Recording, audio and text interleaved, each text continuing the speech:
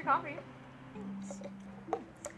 So, I'm really stressing about these finals we're doing because I thought I had to get it. I thought I had to get 100% on my finals to get an A, but now apparently all I need is a 97.5. But that's still ridiculous because I can't. Anyway, how are you doing? Katie, hey. Huh? Sorry, what were we talking about? I was asking how you're doing. I'm. I'm fine.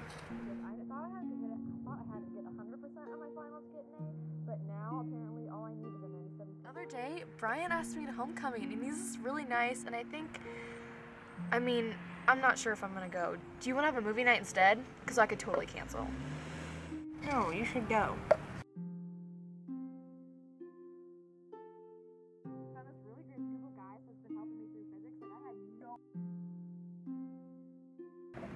Oh, well, I was almost done with that anyway.